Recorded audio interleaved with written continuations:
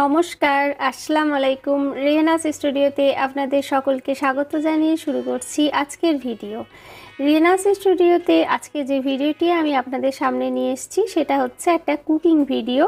আজকে যে রান্নাটা আর রেসিপি আমি আপনাদের সাথে শেয়ার করব, সেটা হচ্ছে আলুর দম। তাহলে চলুন দেখে নিই আজকের রেসিপিটি আলুর দম বানানোর জন্য আমি প্রথমে গ্যাস ওভেনের ওপর একটা কড়াই নিয়ে নিয়েছি, তার মধ্যে দিয়ে দিলাম সর্ষের তেল। এখানে আমি আলুগুলোকে ফ্রাই করে নেব।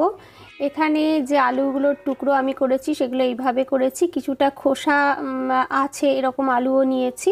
প্রথমে আমি দিয়ে দিলাম একটু নুন আর একটু হলুদ। দেওয়ার পর দিয়ে দিচ্ছি আলুগুলো। আলুগুলোকে এইভাবে আমি এখানে ফ্রাই করে নেব।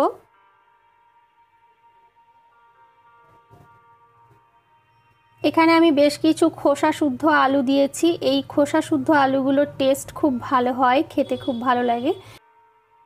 এখানে আলুগুলো ভাজা হয়ে গেছে। আলুগুলো লাল করে ভেজে নেওয়ার পর এগুলোকে আমি কড়াই থেকে তুলে নিচ্ছি। তারপর এই যে তেলটা আছে, এই তেলের মধ্যেই আমি দিয়ে দেব ফোড়ন।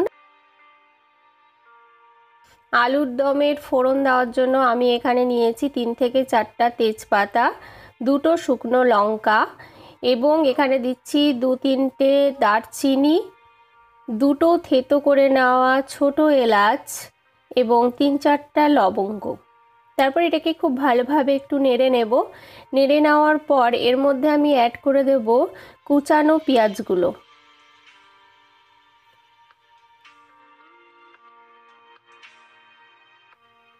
এরপর পেঁয়াজটাকে একটু নেড়ে চেড়ে নেব এবং একটু লালচে করে নেব। পেঁয়াজটা যখন ভাজা হয়ে যাবে, একটু লাল কালার চলে আসবে পেঁয়াজের মধ্যে। ঠিক সেই সময় আমি এর মধ্যে অ্যাড করে দিচ্ছি টমেটো কুচি। এখানে আমি একটা মিডিয়াম সাইজের টমেটো ইউজ করেছি। এরপর আমি এখানে দিচ্ছি দু চামচ আদা ও রসুনের পেস্ট আদা রসুনের পেস্টটা দেওয়ার পর এটাকে একটু ভালো করে কষিয়ে নেব যাতে আদা রসুনের কাঁচা গন্ধটা চলে যায়।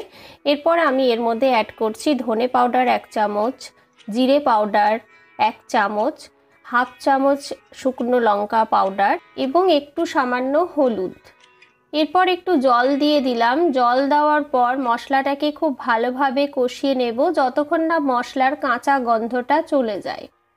আমি এখানে বলি যে প্রথমে যখন আমি আলুটাকে ফ্রাই করেছিলাম, তখন আমি হলুদের পরিমাণটা একটু বেশি দিয়েছিলাম এবং ওখানে নুনটাও আমি একটু বেশি পরিমাণে দিয়েছিলাম, তাই এখন আর নুন দিলাম না। নুন স্বাদ অনুযায়ী দিতে হবে। তো এখানে আমি আলুগুলো দেওয়ার পর এটাকে আর একবার ভালো করে কষিয়ে নেব। কষিয়ে নিয়ে তারপর আমি এর মধ্যে অ্যাড করছি জল। আলুগুলো যেহেতু প্রথমে আমি ফ্রাই করে নিয়েছিলাম, তো সেই জন্য আলুগুলো অনেকটাই সেদ্ধ হয়ে গেছে। জলটা দিয়ে আমি গ্রেভি তৈরি করব এবং আলুটাকে আরেকটু সেদ্ধ করে নেব।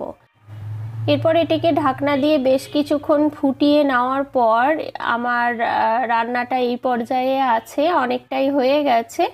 আমি গ্রেভিটাকে আরেকটু এখানে ড্রাই করে নেব। এখন এই পর্যায়ে আমি দিয়ে দিচ্ছি ধনে পাতা কুচি। ধনে পাতা কুচিগুলো দিয়ে জাস্ট একবার ফুটিয়ে নেব, তারপর রেডি হয়ে যাবে গরম গরম আলুর দম। এই রান্নাটি লুচি ও পরোটার সাথে খেতে খুবই ভালো লাগে। এইভাবে আলুর দম তৈরি করে অবশ্যই খাবেন এবং আমাকে কমেন্ট বক্সে অবশ্যই লিখে জানাবেন এই রান্নাটি আপনাদের কেমন লাগল। ধনে পাতা কুচি না দিয়ে আপনারা ঘি দিয়ে করলেও এই রান্নাটাও খুব সুস্বাদু হবে। তাহলে আজ আসি। নেক্সট কোনো একটি ভিডিও নিয়ে আবার খুব তাড়াতাড়ি আপনাদের সাথে দেখা হবে। সকলে ভালো থাকবেন, সুস্থ থাকবেন।